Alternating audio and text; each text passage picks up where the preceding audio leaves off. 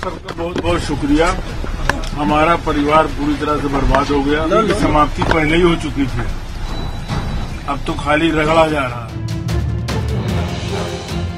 योगी सरकार के सामने गिड़गिड़ाया अतीक अहमद। बोला हमारा परिवार बर्बाद हो गया है। माफिया अतीक अहमद की माफियागिरी अब खत्म हो चुकी है। और ऐसा हम नहीं कह रहे बल्कि ऐसा कहना है खुद अतीक अहमद का। उमेश पाल हत्याकांड में उसे गुजरात की साबरमती जेल से यूपी लाया गया है।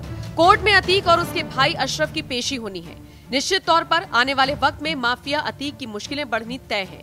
लेकिन इसी बीच अतीक ने मीडिया के सामने साफ़ शब्दों में कह दिया कि अब हमारा परिवार बर्बाद हो चुका है। पूरे परिवार को मिट्टी में मिला दिया गया है। अतीक के चेहरे पर दिखाई दे रहा ये खौफ साफ़ बता रहा है कि योगी सरकार में इनका हाल कितना बेहाल हो गया है।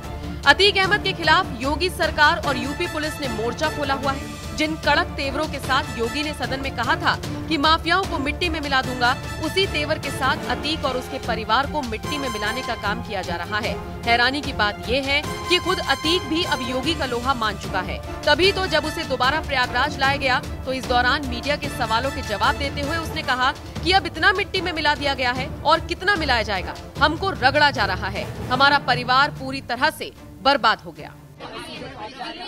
कहना चाहेंगे उमेश पाल हत्याकांड में पेशी होगी कहना चाहेंगे। ठीक। आप सबका बहुत बहुत शुक्रिया। और आपका परिवार कहाँ पर आ रहे हैं। माइक नीचे कर नीचे आपको जान का खतरा है क्या? आपको। डर लग रहा है कोई डर लग रहा है आपको? हमारा परिवार पूरी तरह से बर्बाद हो गया। और एक सवाल कोई कर रहा था। अरे मुँह तो दिखाइए यार माइक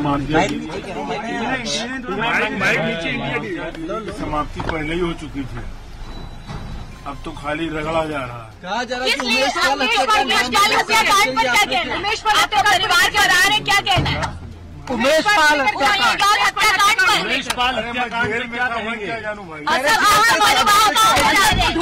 जेल से साजिश रची गई थी आपके द्वारा। कह रहे हैं ना हाँ। तो हम भी तो कह रहे हैं कि हम जेल से जेल से आपके बेटा कहाँ पर आ रहे हैं? बेटा कहा अतीक की बातों से साफ़ लग रहा है कि वो इस वक्त बहुत डरा हुआ है। इसीलिए कभी मीडिया का शुक्रिया करता हुआ नज़र आता है तो कभी योगी के सामने गिड़गिड़ाता हुआ नज़र आता है। अतीक और उसके परिवार पर ये ताबड़तोड़ एक्शन योगी के उस बयान के बाद से लिए जा रहे हैं। जिसमें उन्होंने सदन में सामने बैठे अखिलेश को ललकारा था और कहा था कि किसी गलतफहमी में ना रहे, अतीक जैसे माफिया को मिट्टी में मिला दिया जिस किसी भी पार्टी का रहा हो, क्या बताइए? क्या अपराधी नहीं था? किस पार्टी का था? किस पार्टी का था? आप सारे अपराधियों को पालेंगे। उनको माल्यार्पण करेंगे। और उसके बाद तमाशा बनाते हैं आप लोग। एक तरफ़ अपराधियों को प्रश्रय देंगे। उन्हें उन्हें गले का हार बनाएँगे और दूसरी तरफ़ फिर दोषारोपण भी करेंगे। मैं उन्हीं पे आ रहा हूँ। मैं उन्हीं पे आ रहा हूँ। उन्हीं बातों पे चर्चा करने के लिए आ रहा हूँ। हमारी पार्टी में आप बताइए किस पार्टी का सदस्य है? क्योंकि बहुजन समाज पार्टी से आपकी दोस्ती है, इसलिए बहुजन समाज पार्टी का नाम नहीं ले रहे आप। हम भी उन्हीं बातों पे कह रहे हैं। क्या ये सच नहीं?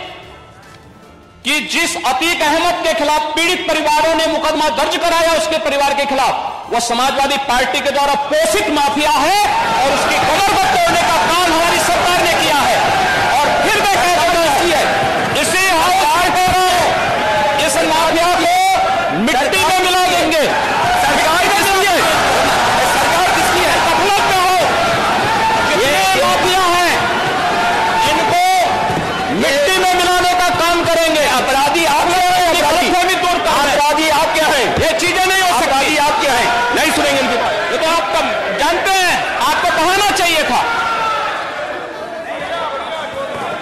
ये तो अध्यक्ष महोदय ये ये पेशेवर माफिया और अपराधियों के सरपरस्त हैं और ये लोग लगातार यही करते रहे हैं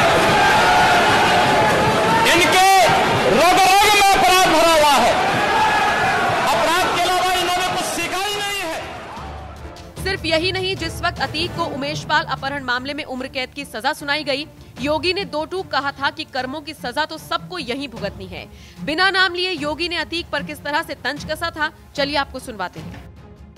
लेकिन अगर आप कोई कमज़ोर बच्चे को योग्यता की श्रेणी में ला देते हैं, ये आपकी उपलब्धि होगी। अगर आपका बेहतरीन संवाद है और एक रचनात्मक और सकारात्मक सहयोग आप इन बच्चों के लिए उपलब्ध करवा रहे हैं तो बच्चा आजीवन आपको सम्मान करेगा। आजीवन आपको सम्मान करेगा। अन्यथा समय और वक्त ये किसी को बख्शता नहीं है। याद रखना, ये हर व्यक्ति के कर्मों का फल उसे, उसके रहते हुए ही दे भी देता है, बता भी दे देता है। आज आप देख रहे होंगे ना, प्रदेश भर में जो माफिया पहले सत्ता को अपना सरप्रस्त मानते थे मानते थे कुछ नहीं, और आज उनकी क्या दुर्गति हो रही है? क्या दुर्गति हो रही है उनकी? किस स्थिति में पहुँच रहे हैं? कैसे उनको सजा हो रही है? कैसे उनकी सजा होने पर आज प्रदेश भर में और देश भर में तालियाँ बजती हैं, लोग खुशहाली मनाते हैं, इस पापी को सजा हो गई अच्छा हुआ।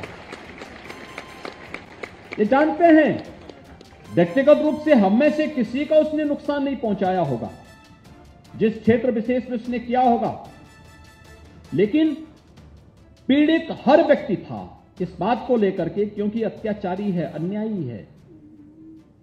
और अत्याचारी और अन्याय के साथ, न्याय के साथ कभी व्यक्ति कभी खड़ा नहीं होता, समाज कभी उसके साथ खड़ा नहीं होता, आने वाली पीढ़ियाँ कभी उसके साथ खड़ी नहीं होती।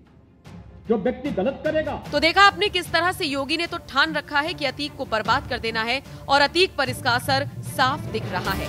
अब आप बताइए आप इस खबर पर क्या कुछ राय रखते हैं? कहना चाहेंगे उमेश पाल हत्याकांड में पेशी होगी कहना चाहेंगे। आप सबका बहुत बहुत शुक्रिया। और आपका परिवार कहाँ पर आ रहे हैं? विष्णु जी नीचे आपको जान का खतरा है क्या? आपको डर लग रहा है? कोई डर लग रहा है आपको? हमारा परिवार पूरी तरह से बर्बाद हो गया। और एक सवाल कोई कर रहा था। अरे मुँह तो दिखाइए यार माइक माफिया समाप्ति पहले ही हो चुकी थी।